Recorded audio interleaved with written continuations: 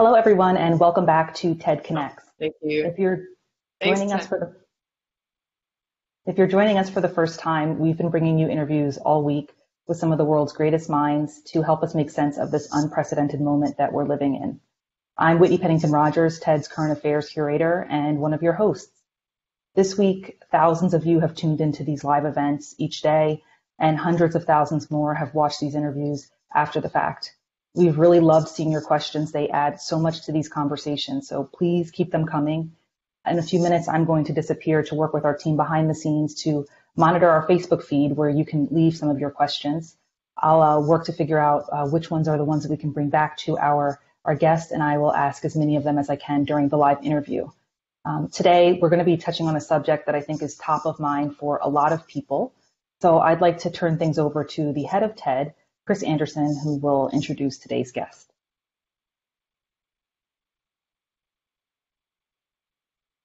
Hello. Hi, hi Chris. How's it, how's it going today? Nice to see you again, Whitney. It's going pretty good here. Amazing days. That's good. That's great. We have sunshine here in, in the Northeast, which is nice. Um, so look, I, I am excited to introduce this guest because I've known Seth Berkley for a long time. I, I count him as a friend.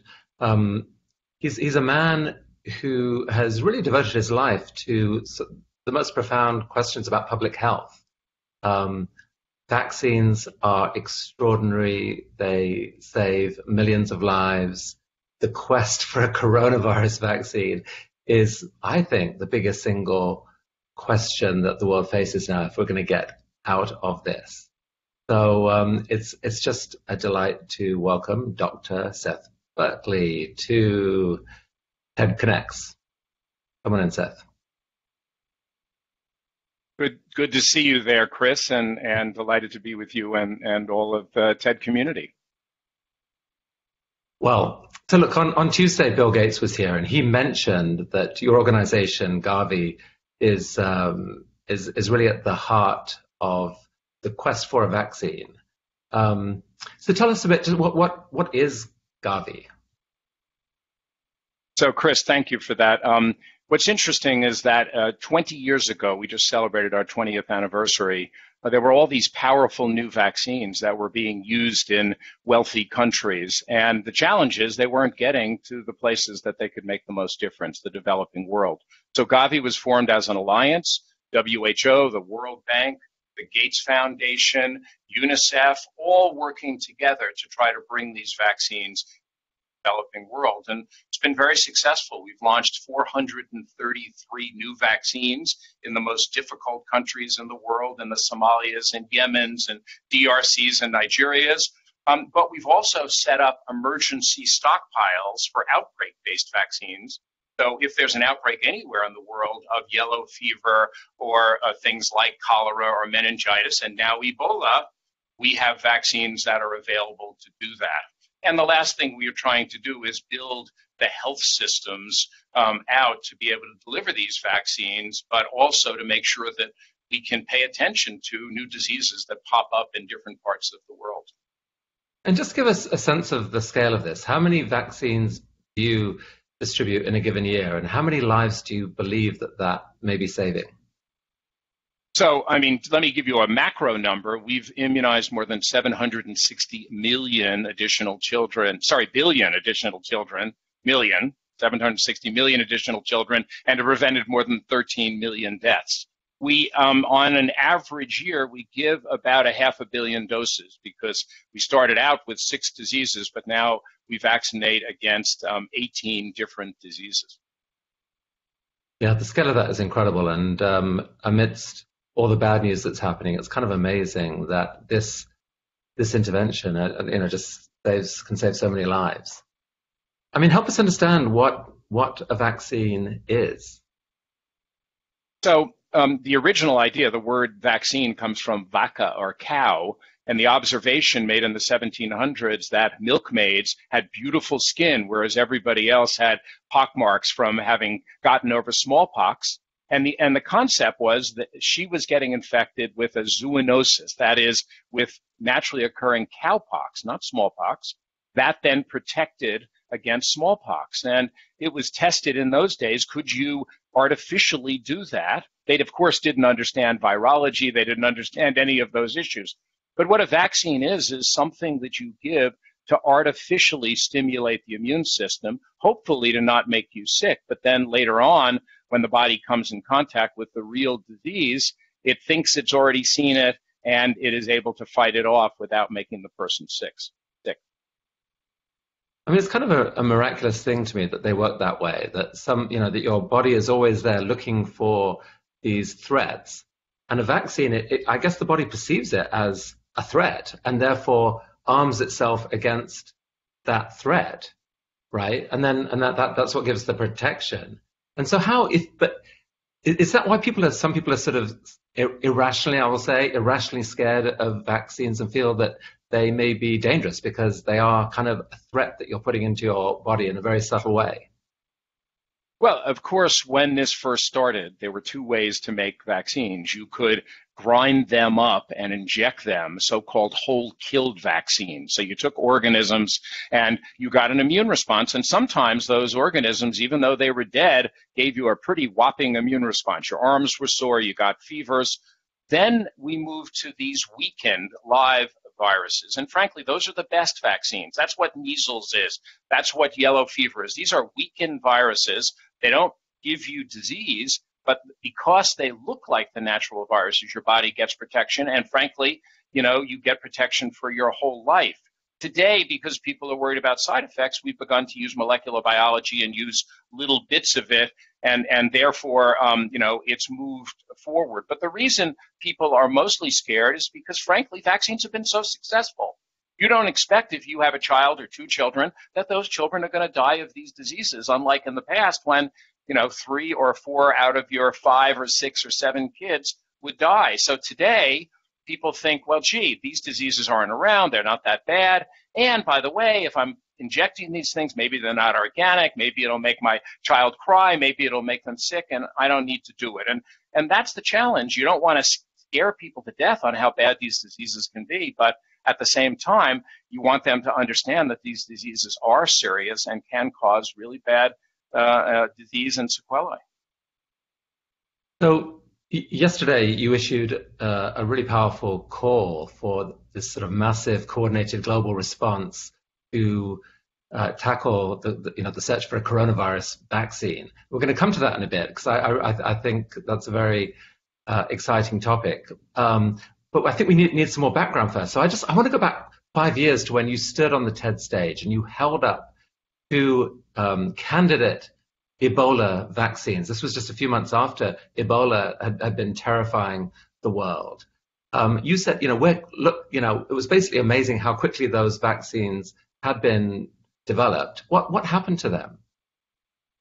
So it's a great question, um, and let me tell a little bit of the story. But at the end, um, there were two vaccines. One, it turned out, couldn't finish its testing because the epidemic died down. The other one was fully tested. It had 100% efficacy. We then went on to uh, work with manufacturers to produce that vaccine, at least temporarily, um, in, in, an investigational form, just in case there were more outbreaks. There were, and those are the vaccine doses that we've used in the DRC in the last two outbreaks. 280,000 people have been vaccinated um, with this experimental vaccine. And today there is a licensed vaccine, and we are um, now um, procuring a stockpile, a global stockpile of a half a million doses. But, so but let me just say, let, let, me just say, Chris, though, the reason, what's interesting is that the reason they, they came so quickly at that moment is after September 11th, um, there was concern in the U.S. about bioterrorism, remember there were anthrax attacks. And so what happened was there was a list of agents, and Ebola for a short time was on that list of agents. So people started making vaccines. And then um, later on, they decided that I was not necessarily a good bioterrorism agent, so they they dropped that off the list. But in the freezers were vaccines that had been started, and they were dusted off, and that's why we could move so quickly in that moment. Yet, how long was it from that moment on the TED stage with the candidate vaccine to actual deployment? So what happened was um, the, the, epidemic began to go down. the clinical trial I told you about was done. It was a heroic clinical trial done by WHO, and it showed that it had these results. That epidemic then stopped. We didn't know if there were going to be more epidemics. It took another number of years for the to finish the work on the vaccine, to make sure it was pure, to figure out how to manufacture it at scale. It's during that period we put vaccine, you know, away and had it available in case there were other outbreaks. And it turned out there were three outbreaks. One one went away quickly, but there were two. I was there on day 13 of the second outbreak. We injected the vaccine, cases went up, then they went down and controlled it. And then this DRC in North Kivu outbreak, which really was terrible because it was in a war zone. And that's the one where we've been not only vaccinating in, in DRC, but in surrounding countries. Um, by the way, that is now, I believe, day 38 or 39 out of the 42 necessary to say it's over. We hope it is. Um, and that would be, again, an enormous example of what vaccines can do, even in a very difficult setting. And yet, in one way, Seth, it's kind of shocking that the outbreak that happened at the start of um, 2015, end of 2014, that it, that it happened at all because the world, like the world has known about Ebola for a long time. The, the, it was sequenced and so forth. A vaccine could have been developed and got ready for a possible outbreak. Why didn't that happen? Well, I mean, there had been 26 outbreaks before, but each one of them was small, couple of hundred people or a couple of dozen people in the poorest African countries in the world. There was no market for it. People didn't know how to test it because they would just pop up and then go away. And so, even though it was obviously a disease that potentially could spread, it had never really spread before. Of course, in West Africa, they didn't have a good surveillance system. It spread for three months before people identified that it was Ebola. And by that time, it was too late. It had spread. And so, you know, what's important about that lesson is that then caused huge disruption across Africa, across the world, because cases went to other places. And, um, you know, the challenge then was, and the reason we had to step in was because there still was no market. So the Gavi board said, we will put out $390 million. We'll put it out there and tell companies we're open for business. We'll create a market. We'll buy the vaccine. And that led to companies be willing to um, uh, finish the investment to get us to where we are today. Right, right. So, I mean, it's a real paradox, right? In a way, that the, the very thing that makes vaccines so extraordinary that they are, once they're developed, they are so cheap to administer. You know, for a few dollars, I guess, you could you can administer this dose that will save someone maybe a lifetime of, of illness or save, save their lives. Um, and yet, so much of medical research and, and, invention and development is done by companies who need to see it like a, a revenue stream. And so they don't see it from, from those tiny little cheap things that might save a lot of lives. And so it's, it's like it's a real market failure that in this circumstance now, we that's one of the things I, I guess you're thinking hard about. How on earth do we get round and avoid that market failure crippling the response this time? Well, first of all, one of the reasons Bill Gates likes vaccines is, in a sense, it's a little bit like software creation. You put a lot of money and effort into creating it, but once you've got it, you can produce it pretty cheaply and use it in, in different places around the world. I don't want to beat up the pharmaceutical industry here because they were heroic in Ebola, but I think realistically, they are for profit entities and they have to say to their shareholders, you know, somebody's going to pay for this, or we're going to do it as a charitable thing. And if we do it as a charitable thing, they can't keep doing it.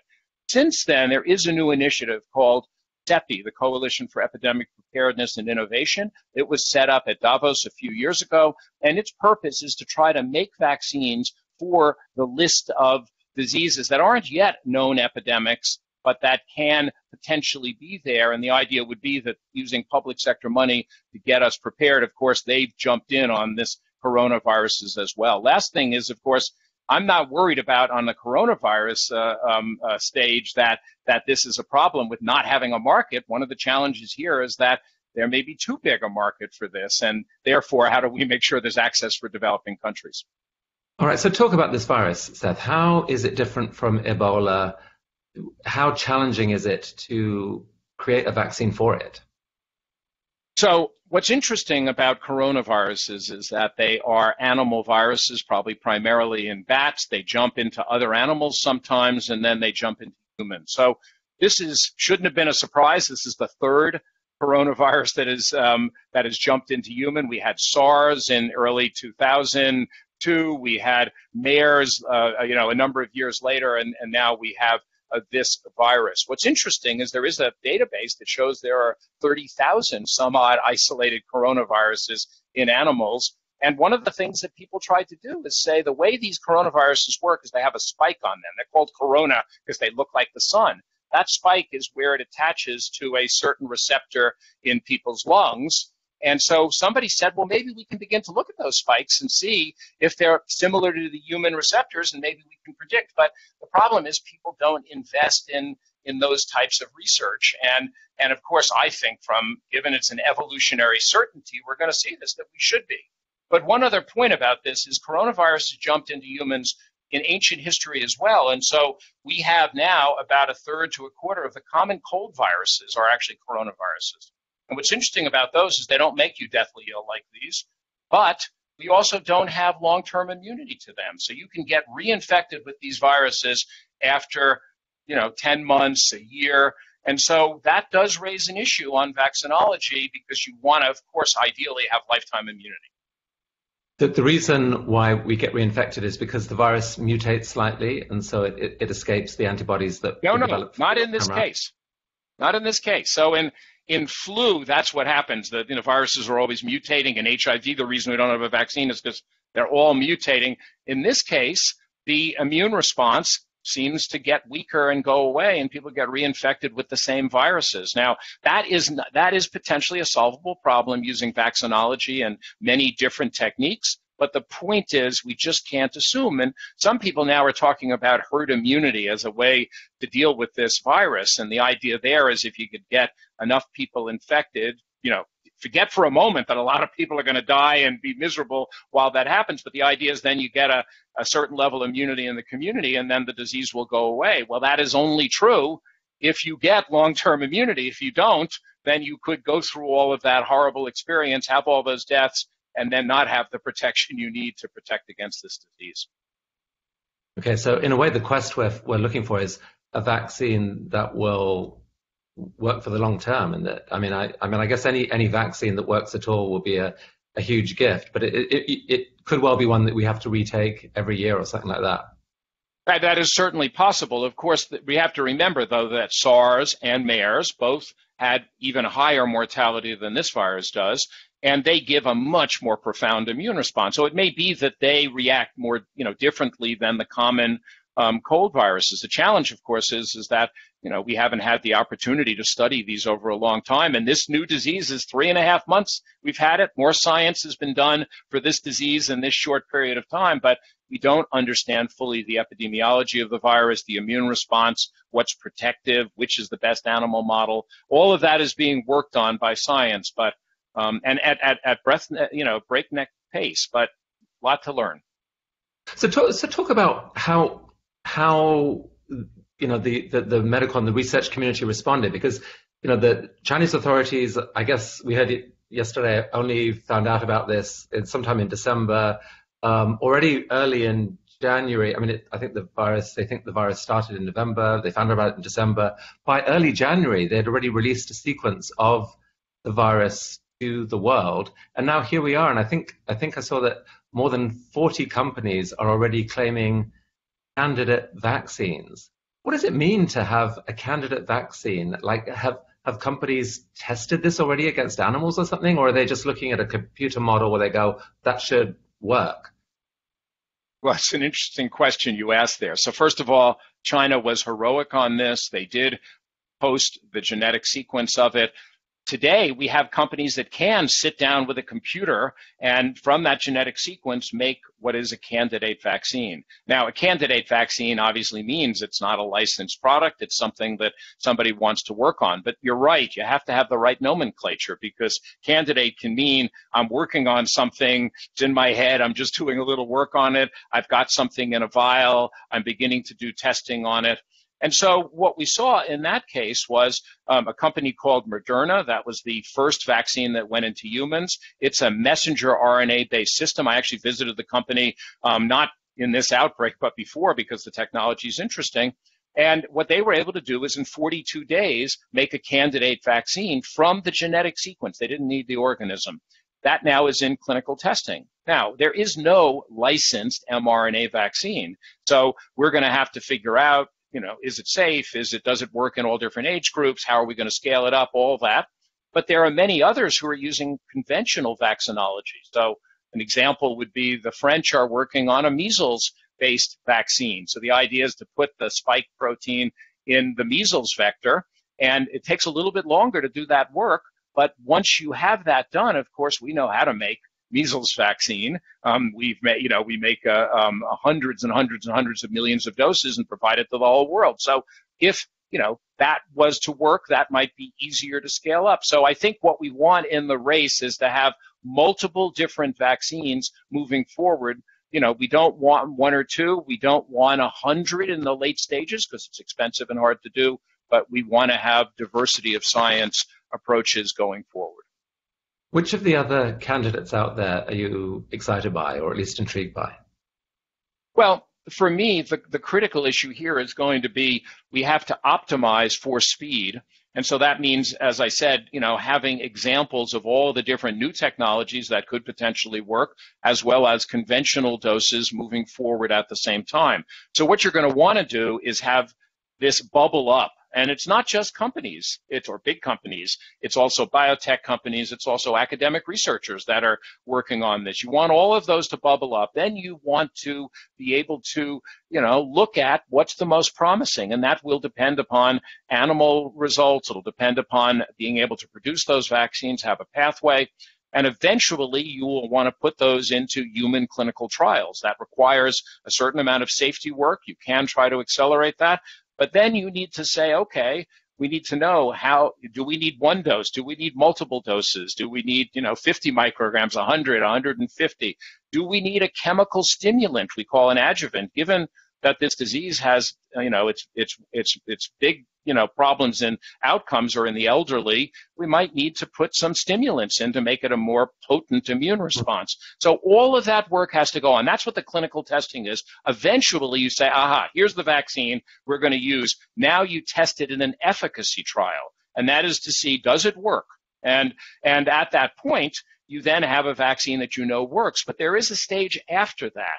And that stage is you've got to, you know, uh, work out the manufacturing, have it all worked out so that you know the regulators know that you can really make this and that it's pure, it doesn't have any any any problems with it, and during that period, and that's what we did in Ebola, we were able to use those vaccines to help in outbreaks you know, under a clinical trial protocol while monitoring them and learning. So there's a lot of steps there, and that's and it's complicated. And I've shortened. Just to summarize, summarize the steps. Summarize the steps that they basically need to go through. I heard like probably an animal an animal test, and then and well, then for basic... for example, Moderna Moderna did you know they went into humans at the same time they're doing animal testing.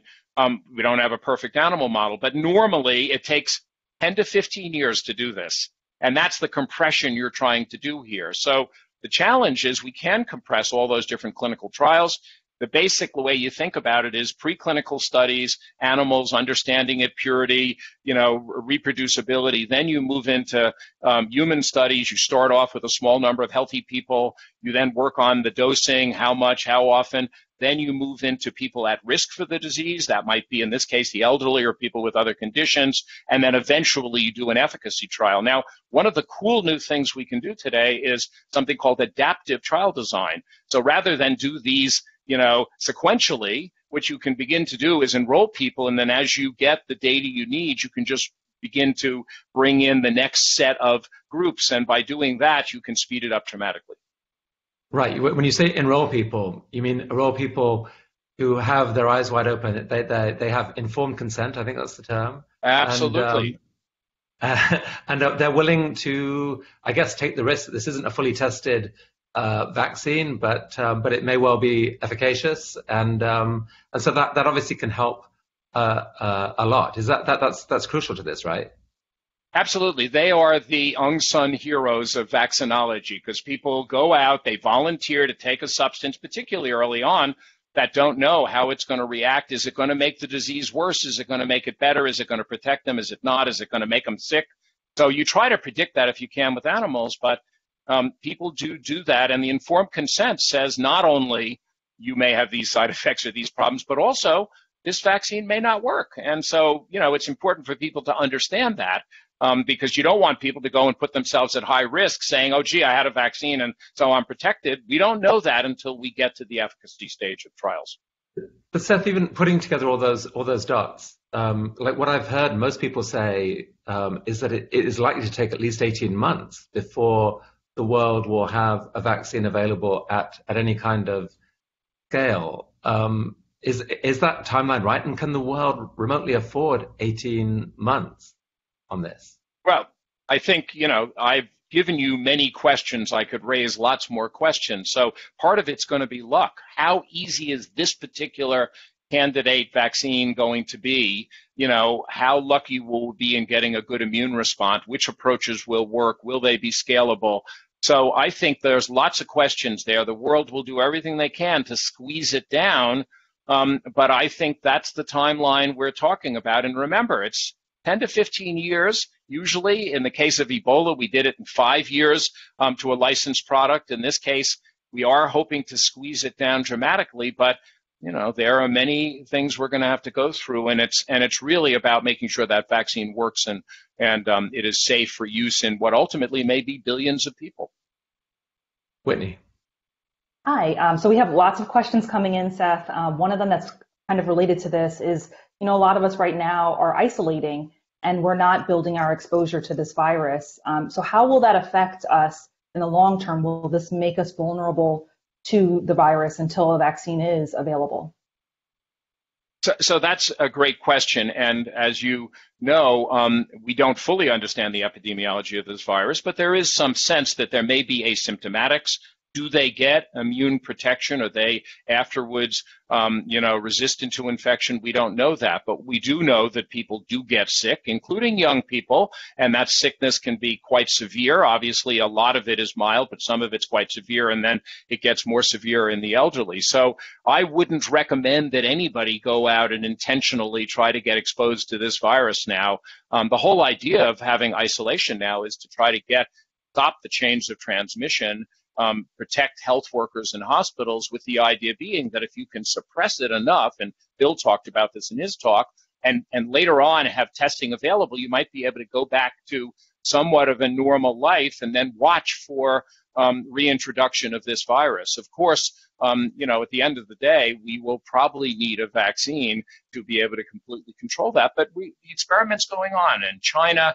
You know, Japan has done an amazing job of controlling this with slightly less severe um, um, interventions. We've seen in in Korea similar things. So you know, the hope would be that if we take it seriously, we actually know, damp down the exposures and stop the, the, the um, this epidemic now, we'll be able to remove to some form of normalcy. Um, and, and we also may have drugs, and drugs will change the dynamics as well because people will then know that they are able to get treatment as well. Great. I'll be back later with other questions I'm seeing. Thanks, Whitney. Thanks, Whitney. Thanks everyone watching. Keep those questions coming. Um, I mean, Seth, this timeline, like I, have I've been puzzled about this because I, I get that there are so many things that you have to have to be checked out, but it's still I, I, I worry that um, the rules are not adapting rapidly enough for the scale of the emergency. I mean, my, my analogy, you know, would be you're going about your lives, and uh, and suddenly there's this emergency. You see that there's this enemy force approaching you from the horizon and coming your direction. You you don't, in that circumstance, spend a week, you know, trying to test all your guns and make sure they're operating absolutely safely and in the right way you know, you you you galvanize and you and you do take some additional risk for the sake of avoiding the bigger risk. Is is that thinking pre- prevalent right now? Are there people trying to make those kinds of trade-offs? Um, how should we think about that? Or, or do you really believe that the that the community is galvanizing and moving forward as fast as it humanly can and, and appropriately balancing the two risks? I think we're seeing heroics in moving forward here. I think, you know, obviously you're right. And the reason we talk about going from 10 to 15 years down to something like 18 months is about squeezing those steps as much as possible.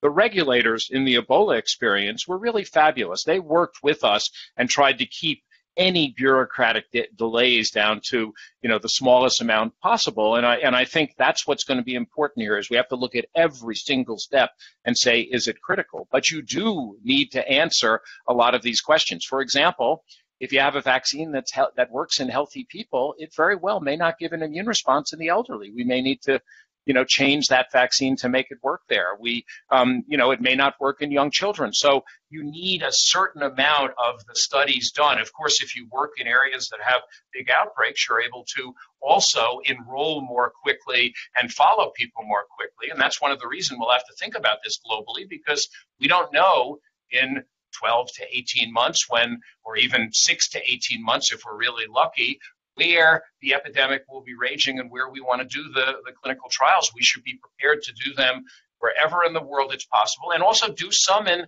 different types of countries. Developing countries may have different immune responses than in wealthy countries.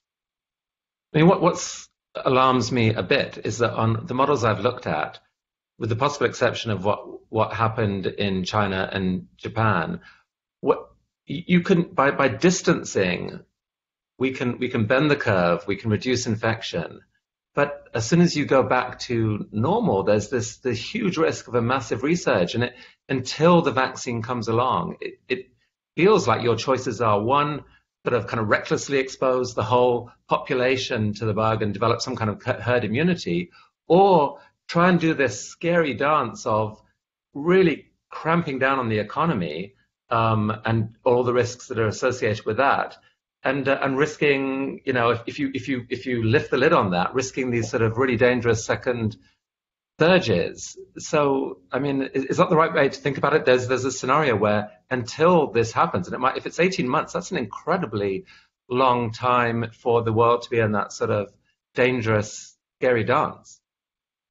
Well, I think you know the, the issue here is um, that is a little bit the way to think of it, but the experiment's going on now. China is now releasing its controls, and we will see what happens there. We'll see where they have to clamp back down and what's going to happen, and we'll get a good idea of what that's like. Right now, in many countries, we're still in the upscale period when we're seeing lots of cases, and so we have to break that transmission first before we can have that conversation. I'm the first person that would like a vaccine to occur quicker.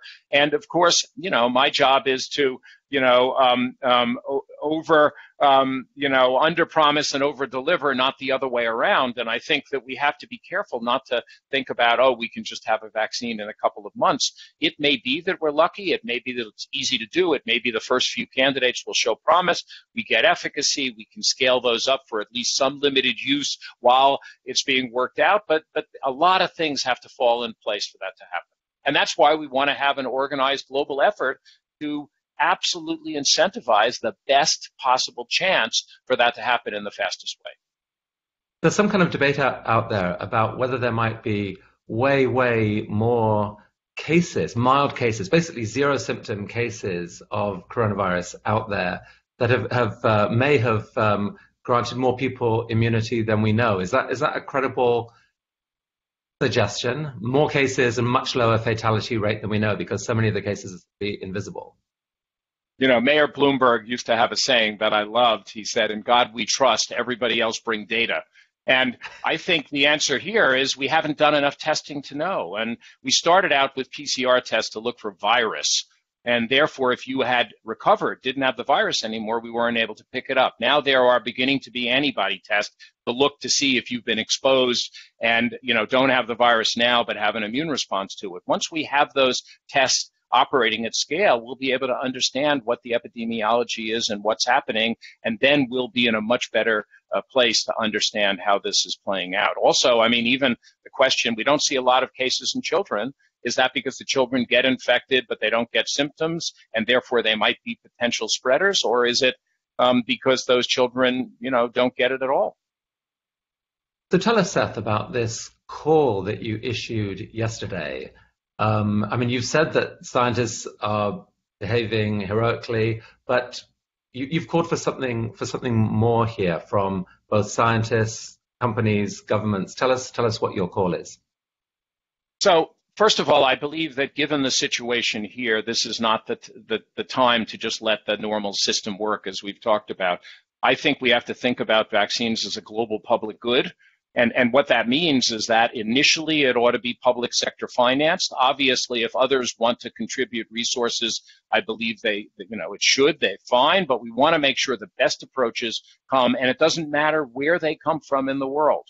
We want to make sure if the best approach is in China or Japan or in South Korea or in the US, wherever it comes from, whatever company has the ideas, get them on the table then we want a process to say realistically, you know, how are these being compared? How do we decide which ones are most likely to succeed? And then, as I explained, some diversity in taking those risks, you know, maybe some new technologies, some old technologies to drive forward. Once that happens, then to try to get clinical trials to drive forward as quickly as possible. Now, the delay here is actually likely to be in manufacturing because, you know, we might want um, billions and billions of doses. So how do we then, you know, begin to invest at risk in manufacturing plants? If it's a big company, they may have adequate manufacturing, but we may want to work with contract manufacturers, other companies, or even build plants or use new technologies, modular technologies to do this. And then, of course, at the end is going to be the process of getting the vaccine out to all those who need it. And that's going to need to be dependent upon the risk at that time. Help me understand this better, Seth, because r- right now it feels like there's this huge effort going on, but companies are operating in, in, a way competitively with each other. To an extent, countries are operating competitively with each other. Are you saying that what the world needs is is some kind of widely supported global, I don't know, vaccine czar that, that is pulling together different efforts, coordinating, encouraging everyone to work together for the common good. And trying to get agreement on these big decisions like what is the smart way, what are the smart few candidates to get behind rather than this confusing explosion, and then how we coordinate manufacturing, etc. Like is that is that a person or a small organization that that the some combination of governments, WHO, UN needs to put together? So, first of all, you want science to bubble up at the beginning. So, you don't want to have centralized control, you know, somebody saying, I know best and I'm going to predict this. So, you want it bubbling up from all over the place. But then you want a coordinated effort. The best, the, the group that is best placed to do that is the World Health Organization, maintaining a list of all the different programs that are going on. We also have other organizations. I mentioned CEPI before. CEPI has now supported eight different candidates. I, I think it's going to support more.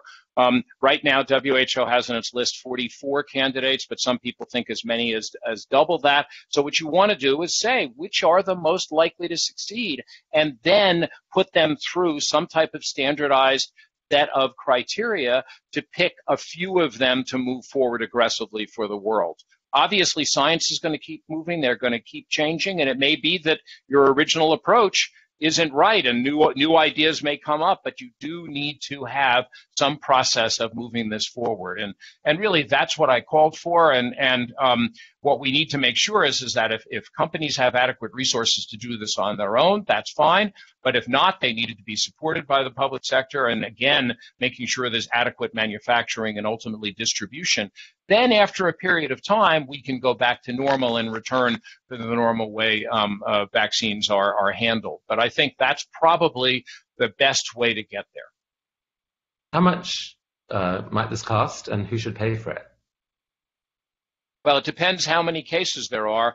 You know, the good news is we're talking now about um, trillions of dollars in economic loss and this is going to be a program that's going to be in in tens. Well, I mean, I'm making the comparison. Sorry, you're absolutely right, Chris. Um, I mean, we're talking about tens of billions of dollars here, not trillions of dollars. And and the reason that's important is you want to make sure that any good idea has its best chance of moving forward. And and we ought to we ought to you know again optimize for speed and not optimize for being cost effective at this time. So so I, I guess um, you're saying that like the rich countries may well be able to afford some kind of vaccine program. I, I, think what I hear you doing here is representing a lot of the countries that can't afford it. And what you're saying is that the world may have to find a way of spending tens of billions of dollars to avoid trillions of dollars of economic damage and all the hardship that goes with it around the world. Is that is that about right? That's absolutely right. But I think the important point is this needs to be a global perspective. I mean, look at what happened with Ebola. We had a vaccine that was originally made in Canada by the Public Agency of Canada. It was then transferred to a U.S. biotech then to a Merck and Company, which is obviously a global player based in the US, and they're manufacturing it in Germany. That's the way science works. And these vaccines may need components from other places. So, how do we think about this in a global way and make sure that, by the way, the second vaccine that's in humans is from China? Of course, they've had a you know a lot of uh, time to work on it compared to some others and you know they have a candidate that's moving forward if that candidate is successful we want to make sure that's the one that's scaled up and so, you know, for me, it's making sure that we're we're we're looking at this as a global ecosystem with the best candidates moving forward for the good of the world. Whitney. So we we have a lot of people watching from all over the, the world, and we're seeing questions, especially from some of our friends in, in India who are watching, um, connected to this, just basically about how are poor nations going to get access to this vaccine, and then specifically when we think about who gets the vaccine first um, will there be some sort of uh, payment that where people are paying for this vaccine and those who can afford it get access before others? Well, the decision on who will pay for it will ultimately come from the political leaders. And my recommendation would be as you start off as a global public good, you make the vaccine available because we're trying to stop the epidemic. Later on, we can have tiered pricing in different places. But one of the concerns, of course, is where is the epidemic going to be at that point and who needs it first? Now, I would argue the people that will need it first are probably health workers because health workers are going to be on the front lines and you want them to be there to be able to take care of people. They're at risk of both contracting it as well as spreading it. Um, then you probably want to think about the high risk, you know, individuals, you know, the elderly, people who have pre-existing conditions, and then eventually the rest of the population if it's needed. So having some type of way of thinking about that, we also need to be thinking about equitable access and that is going to mean thinking about the entire world. Now, as Gavi in the past, including in India, has worked to make sure these new technologies are there, but you know, these are vaccines that existed, and, and in this case, it's a new vaccine. We have to make sure that it isn't um, hoarded only in wealthy countries or in a select set of countries. And that one way to do that would be to have vaccine production in multiple places. So today, a lot of the vaccine that Gavi uses are made around the world. Some are made in in the United States and Europe, but some are made in South Korea, in India, in China, in other countries. And so what we could do is have a vaccine transfer the technology and manufacturing in multiple different sites so we can have enough vaccine for that original launch. But whatever happens, there will always be a period of time when we'll have an exciting vaccine and not enough doses to go around, and that's when we need to take hard decisions based upon science on who should get it. Thanks for that, Seth. I'll, I'll be back later with other questions. Thanks, Whitney. Thank you. How confident are you that we'll, we'll eventually get one? I mean, we still don't have a vaccine for HIV, uh, nor for the common cold. Um, how can you be confident that we can get one this time? Well, first of all, um, as you know, I did a TED talk uh, even before the one of 2015 talking about HIV and, and flu and how new science needs to come in. And frankly, we are making progress against some of these incredibly difficult organisms. You know, you talked about variability. That's the problem with HIV. It's constantly changing. And so, you know, you're chasing the, you know, you get a good immune response, but it's to the strain that was there before. And now you're chasing new strains. There are ways to work around that. It's new science. I actually, I am optimistic. I'm optimistic because we have some experience with SARS vaccines and with MERS vaccines. And so people have worked on it. They've been able to get good immune responses in animals and in people for those vaccines. And so we can build on that experience. I mean, I, I can't tell you how long they'll last for, how effective they will be. Will they need to have local mucosal immunity, which is in the mouth and nose, as well as serum immunity in the in the bloodstream. Um, will they need to have just antibodies or the other arm of the immune system, the cellular uh, arm? These are questions that need to be answered, but I am a great believer in the power of science, and I think in this case, the organism is not going to be um, quite as difficult as the ones you're talking about that are, are much more difficult. You mentioned in your TED Talk five years ago, Seth, that um, we've got this situation where we're spending billions of dollars on nuclear submarines, you know, patrolling the oceans for a possible incoming threat, nuclear war threat or, or whatever. and, and almost nothing on um, preparation for a pandemic like the one we're suffering.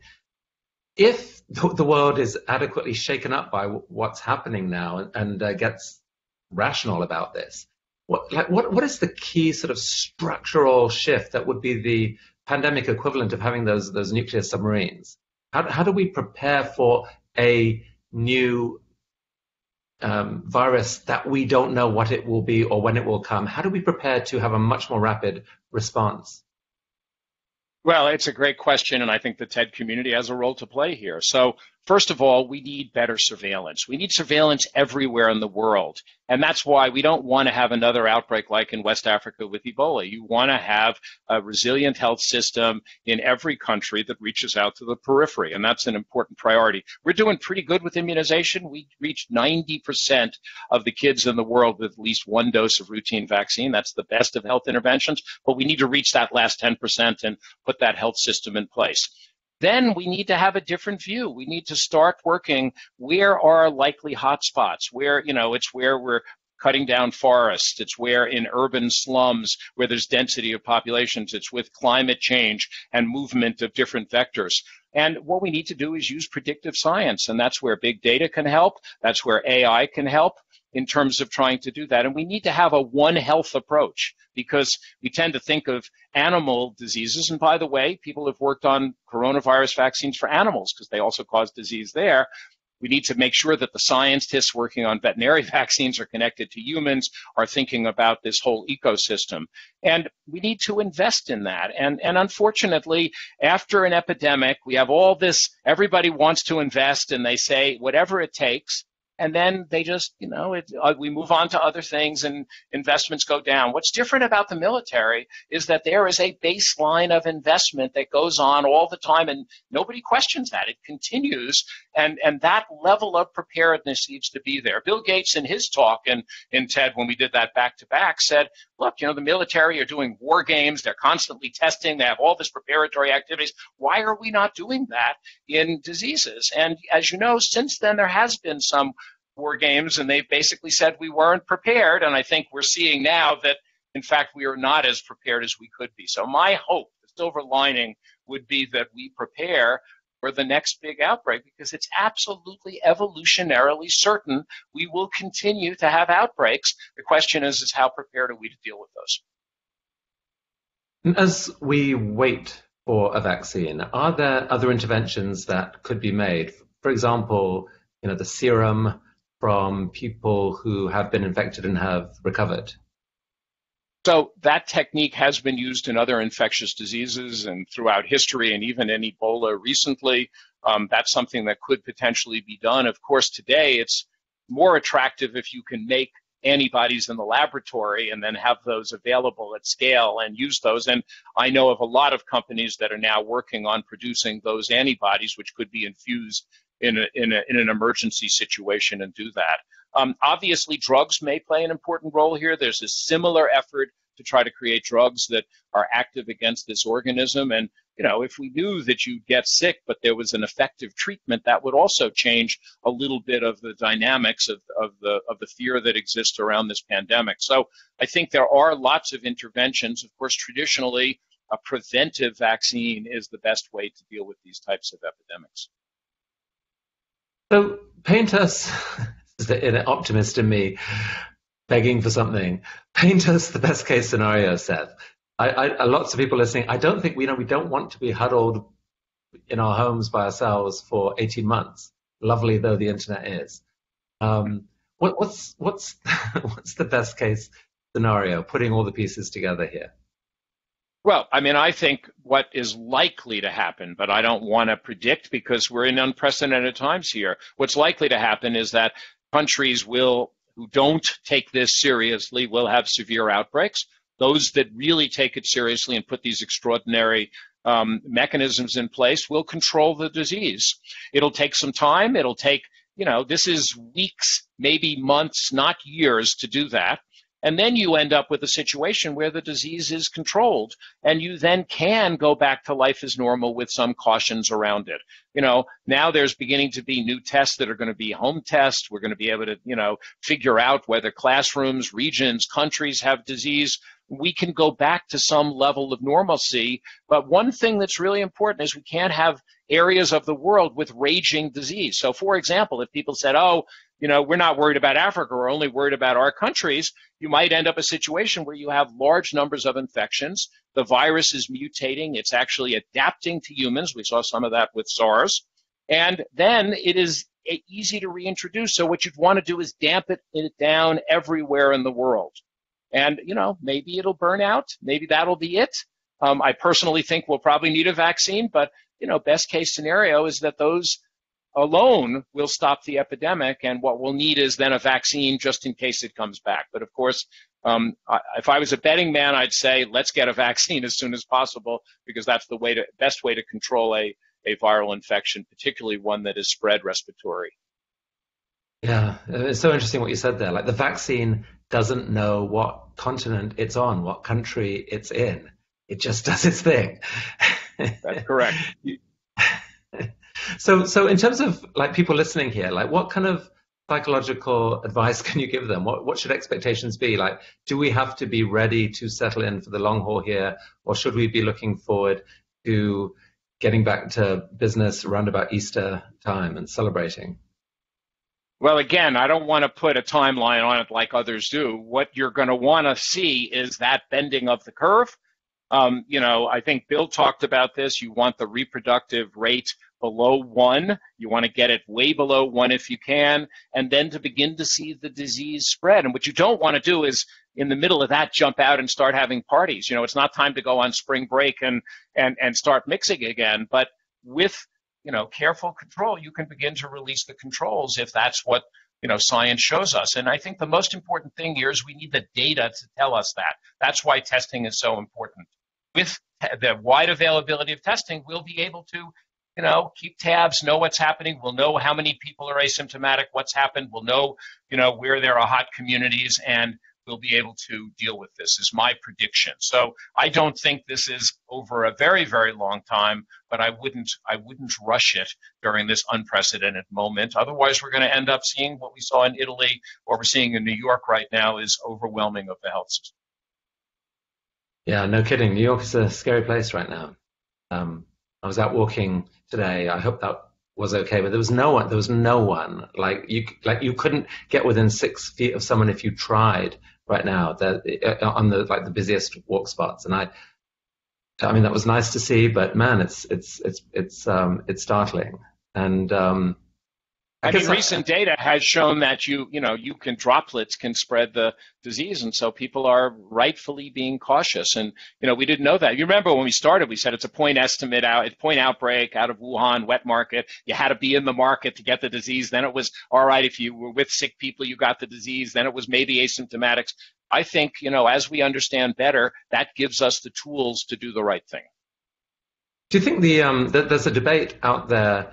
That seems to be growing again about masks. Like the, the, the, the East and West have taken very different advice on masks. It's, it's, uh, we were hearing from Gary Liu yesterday that everyone in Hong Kong and China is basically wearing masks, and, and arguably that has been affected. Has the, the advice in the West against not wearing masks, is that, how much has that been driven by just the fact that there's a shortage of masks and that if anyone needs to wear them, it's medical professionals?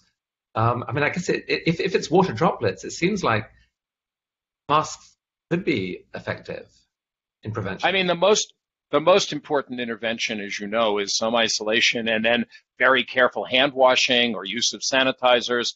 And because what happens is you touch your face I forget the number. I think it's like, you know, um, every one to two minutes and you touch your eyes. So if you reach a door handle or you have contact with a surface, and we know the virus can live on those surfaces, and then you touch your face, touch your mouth, you know, touch your nose, you can spread it. So the purpose of a mask for a person who's not infected is not so much to keep them from getting infected, it is to keep them from, you know, touching their face. And so I think what's interesting here is um, you know, how do we get people to have this personal sanitation? If we have unlimited quantities of masks, people want to do it as a way to, to um, you know, to remind themselves not to touch their face. Now, that's very different if you're infected, because if you're coughing, having a mask on does reduce the spread of of, um, of droplets, and that's why um, they recommend it.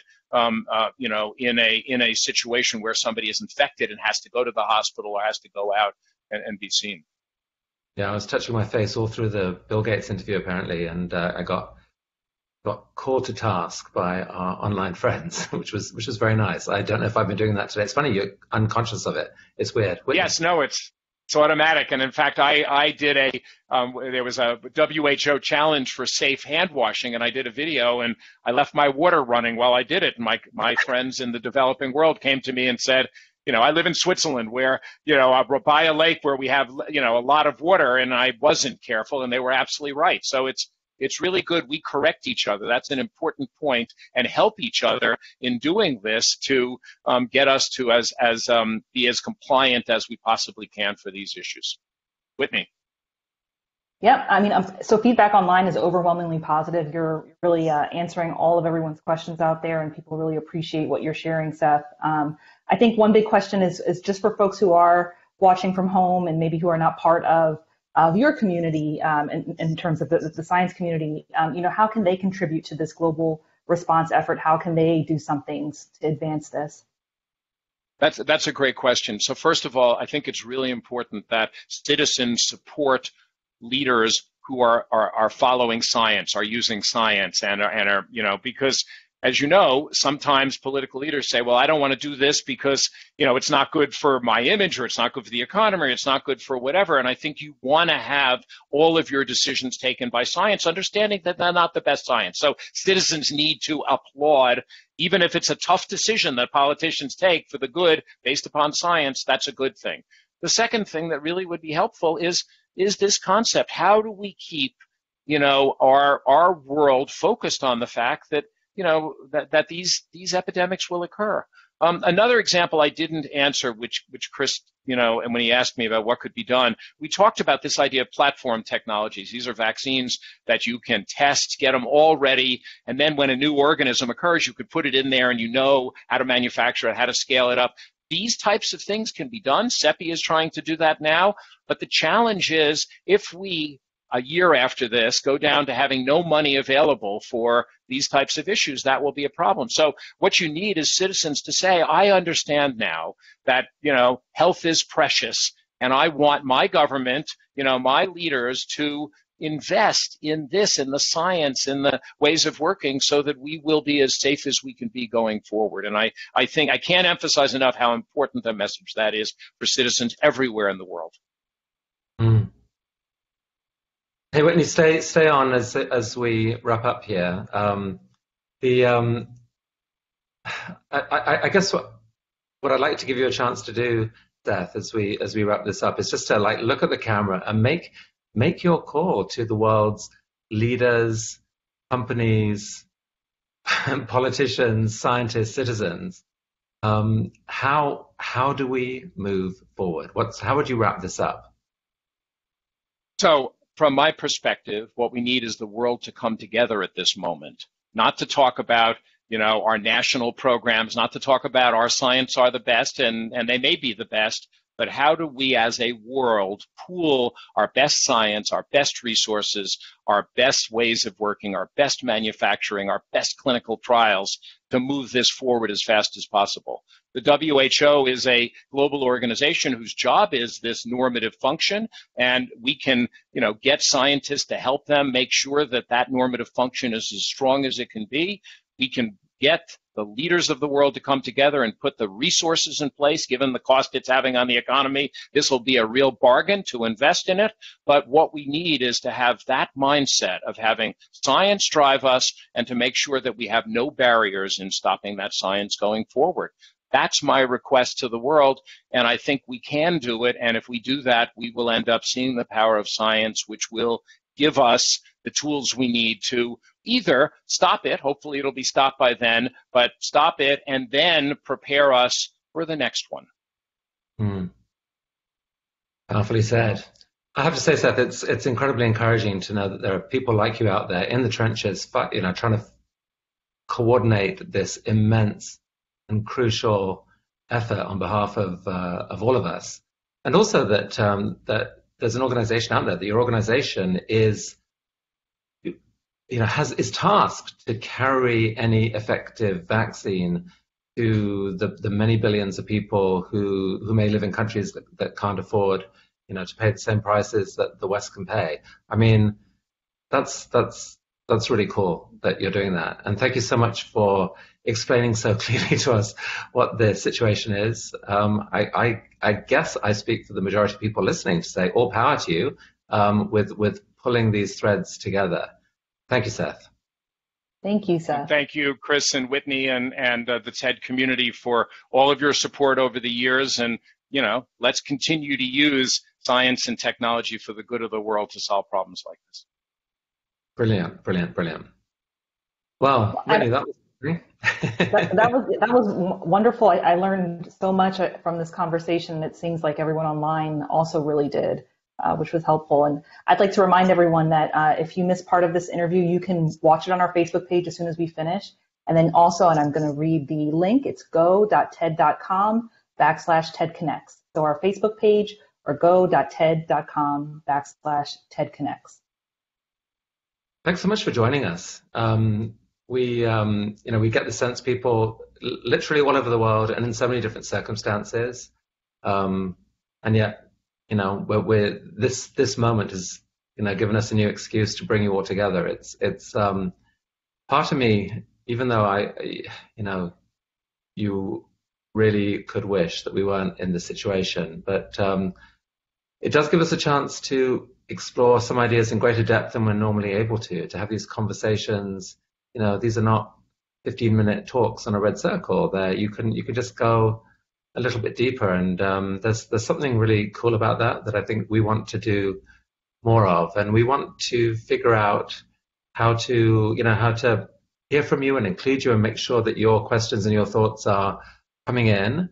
Um, as we speak, we're we're dreaming up what speakers to bring next. Um, we know about Friday. We don't necessarily know beyond that, but watch this space. Whitney, talk about what's going to happen tomorrow. So we're we're really excited. We're going to have uh, Priya Parker on to wrap up the week for us. She is the author of The Art of Gathering, and she's going to give us some really helpful tips, I think, about how we can stay connected during this time, which is something I'm sure all of us are are struggling with as we're trying to practice social distancing and uh, you know, are, are, just spending more time physically apart. So um, going into the weekend, that feels like the type of thing I think all of us can really benefit from hearing. If you've um, if you've got value from this conversation, uh, consider sharing it, sharing the link, those links with um, people you know. That would be cool. Um, and um, hang in there, everyone. These are hard days. Uh, we know many people are struggling hugely. Hang in there. We'll get through it together somehow. Um, and until tomorrow, take care. Bye for now. Take care, everyone.